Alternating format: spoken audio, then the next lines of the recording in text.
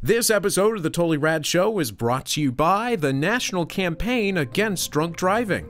Today on TRS, we check out the new stop motion animated movie, Paranorman.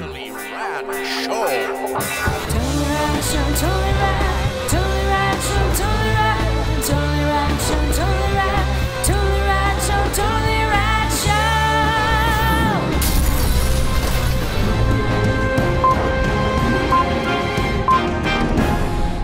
Today in movies, we are talking about Paranorman.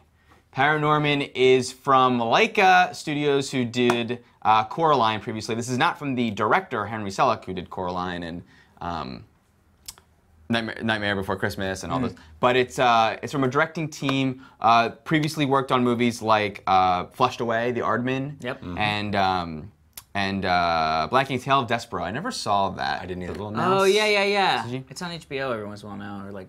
Right, or right on, right on. Um, so Paranorman is about a young boy, an outcast, who can see dead people, and zombies are coming to town. He's the only one who can stop it. and he's the only one that can stop it. Hmm. Subur- in the suburbs, it is a it is a mashup of the th- movies that we grew up with, like Goonies or Monster Squad or The Explorer. I mean, has the spirit of all of those wonderful '80s movies. Hmm. Um, and it's stop motion animation, like like Yeah. uh, Coraline and, and, and some of the others that we mentioned. Uh, Alex. Yes, sir. So a movie made for us, made for our generation, not even the generation that is in the demographic that sees movies today, 18 to 24. This is this is for us. I think it's also for kids. It's also for kids. for sure. But I, I'm talking about Yeah. it's of their sensibility. yes. Yeah, definitely.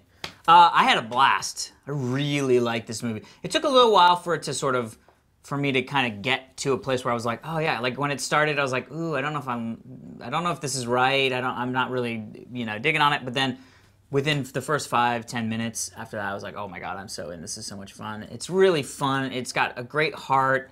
Um, not only that, it's got in the first like the third scene of this movie is Norman waking up in his bed bedroom and he's a big zombie fan and there are products that are in this movie that I ne- need to be made into products that I would wear. You know what I mean? There's like zombie like uh, zombie slippers that just are the head of a zombie with its mouth open and you force your foot in the mouth and walk around with that. You know what I mean? Like an alarm clock that like a, a hand comes out of a grave and it's like bah! and then you push the hand down to snooze. Like there's, I was just like, I want all of these freaking products to exist so I can buy them all. Um, and the story is really is really fun and funny and sweet. It's got a little bit of the sort of Scooby Doo odd couple team in a van moments and. Um, you know the sort of partnership between Norman and the little pudgy friend that he makes is hysterical when he shows up and wants, wants to play hockey. It was like Oh, yeah. the funniest thing that I've ever seen. Uh, so there's a really great, and the story is is is is actually a cool take on the kind of you know lore of the you know creepy curse on the town. Blah, you know what I mean? Like it kind of goes to a place that you're like, wow, this is kind of a really interesting and kind of poignant place to go as a sort of stop motion kids movie. So I had a blast. I loved it.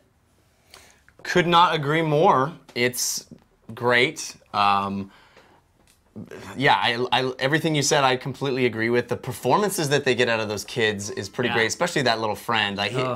They really did a great job casting. They really did a great, great job getting wonderful vocal performances out of those kids. And I adore stop motion animation. And this movie also in 3D. I saw it in Yeah. 3D. You saw it in 3D, right? Yeah, yeah, yeah. And uh, this just works so perfectly for 3D because it's al- it's already like looking at a little diorama world, which I love. But now that you can peer into that diorama, and it seems more like the movie screen is just this place where these living models are hanging out and moving Yeah. around. It really works well. It adds such wonderful depth and three dimension.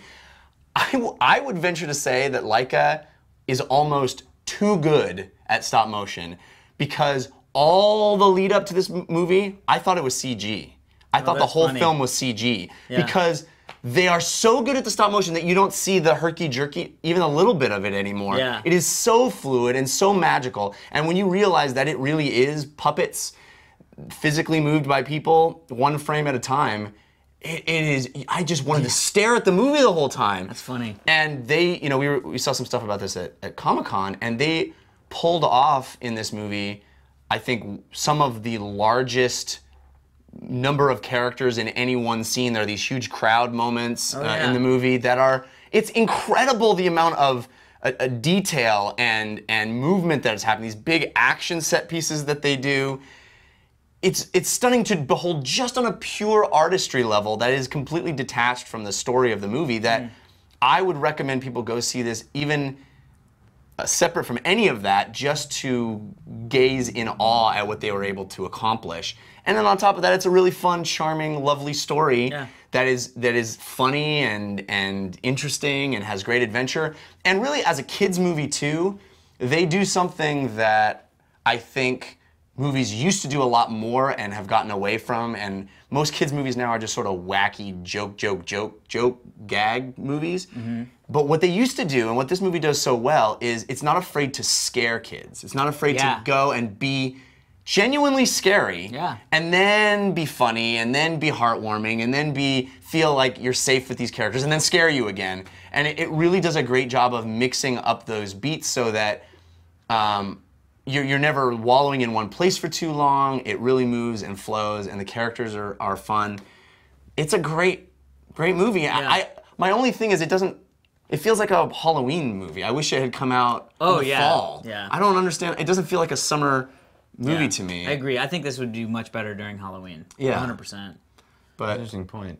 Is it so? I had a little trepidation before uh, uh, and seeing tra- trailers and things Mm-hmm. about it ever rising above just the send-ups of tropes that we all know and love from these kinds of movies and references to Ghostbusters or this or that or the It other. I don't think it doesn't wallows really- in that. no. Certainly not as much as your average DreamWorks CGI movie Yeah. does. You know that. and it definitely t- turns its turns on the head the whole story. I mean, the, it, it's not about what you think it's about until mm. you know what it's about, and Yeah. what it's about is not something that we've heard before. You mm. know what I mean? So it's it's it's. I, I don't. Th- it's not just that. You know what I mean? Awesome. And there isn't even that tons of winks to lightsaber sounds. No, there isn't even tons of like winks to. There really isn't. like that. You know what I mean? It's just it's it's from the feeling of that. right, You know the what I mean? The spirit of it, the soul of it, but it's not, like they're the- Goonies jokes or like a J- Ghostbuster joke. it's, more like, uh, jokes on what zombies are. I mean, there's even this wonderful uh, flipping the script of humans having such an excitement about the idea of being able to kill zombies. At one point, it's, it's like. Yes, zombies are finally here. Now we can do that thing we've been fantasizing Yeah, about yeah, for yeah. so long. Let's go Yeah. kill them. Yeah. And, and then you sort of start empathizing with the zombies a little bit. Yeah. Which is really, it's a really fun, Awesome. clever take. great. Yeah. yeah. it is. It's really it's really fun. Definitely worth a watch. Paranorman. Boom. All right, everybody, be sure to stick around. We're going to be answering one of your Twitter questions right after this. But first, we want to thank our sponsor. Guys, we talk about this, it feels like almost every year, and I can't believe we still have to talk about I'm, this. I'm glad we talk Yeah. about it though. I mean, it needs to be talked about. It more. is. We are sponsored by the National Campaign Against Drunk Driving. The police will be out of, in force again nationwide from August 15th to September 3rd in a nationwide effort to crack down on impaired driving. Don't put yourself or others in danger or risk of terrible legal repercussions. Drive sober or get pulled over. There's some stats that they always have us read, and they always blow my mind that I can't believe that people don't understand these stats and then use them to stop driving impaired.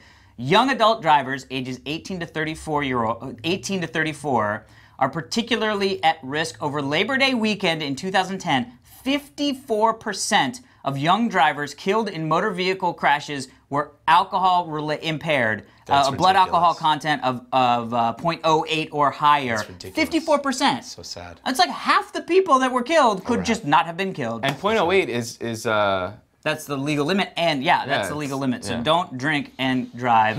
uh, record numbers of state and law, local law enforcement are going to be uh, uh, out in force across the nation, taking part, and uh, they will be looking for drunk drivers day and night. As if you um, needed more incentive. I not know, To do it. right? Don't So lose your license. make the road safer for all of us. Do yourself a favor, drive sober, or get pulled over. Seriously. Cool. Hey, send us backgrounds. We love getting those. Fans at TotallyRadshow.com is where you send them. We, this one's a great one. Come on. It's going here. Check us out tomorrow for our review of Expendables 2.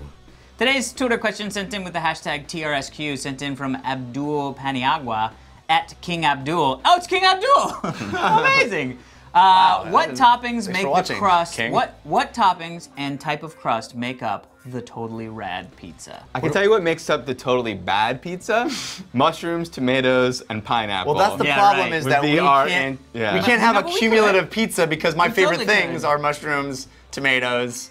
I wouldn't put pineapple. Well, first off, but tomato sauce, so that's fine. That's because I'm You're a tomato acceptable, guy and I love tomato sauce. okay. Uh, what type of crust? Let's start there. I Thin? I enjoy Regular? thin crust, but I always enjoy thin crust as a novelty. True. I really like just the standard Yeah. standard When it's like meat and potatoes. crust. but a, but a, Pizza. but a Yeah, um, terrible I- on pizza. definitely a Actually, firm it's very crust. good. Meat and potatoes. Firm. Firm, yes, firm. I, I, uh, what a chef like once a told little me, bit of a puffy crust. if a, a pizza, you know a pizza is good if you can pick it up and it doesn't sag. Oh, Oh, so I don't it's know if not. I you're need such an East Coaster. I would have thought you would have said the opposite. Yeah, I like where I have to Why? like fold it up like a laundry. New York style pizza is like, I don't know, Oh, Chicago. big pizza. I'm not a big Chicago style pizza. good. It's got to be I the am. thin. I'm all. I'm. all- I'm. We can. Okay, we're on board with Oh, yeah. uh, firm. Standard firm pizza. Now, next step. toppings. Uh, we're not gonna do margherita. We're gonna do tomato sauce. yeah, tomato sauce. Lots of cheese. Lots of cheese. I could do a couple different types of cheese, like mozzarella, Mozzarella, and little then some mozzarella. like jack or some, you know, Yeah. Parmesan or All right. oregano. I'll, I'll grant you that. Five Uh, cheese, some sort of five cheese combination. Yeah. I don't do Or the beef, formaggio. so we can't can't really do beef related items. Not that there's that many. Well, pepperoni. Pepperoni. Pork, which is good. right? yeah, I could do some pepperoni? Italian The The, sausage. pro- the problem with this question for me is But I I, don't like I a don't need ton sauce. of, like of, that spicy sauce. toppings. I like a ton of toppings. Because then it's like I'm like I black don't know what cheese. I'm- I'm a cheese guy. black olives, or bell pepperoni. pepper, onions. yeah, I would eat all I that. could do all mean, of that, but as long as there were pepperoni. Let's order one, guys. Yeah, I'm coming. of I actually could so go for hungry that. right. Thanks, thanks, Yeah. King Abdul, Aye the king of pizza makers.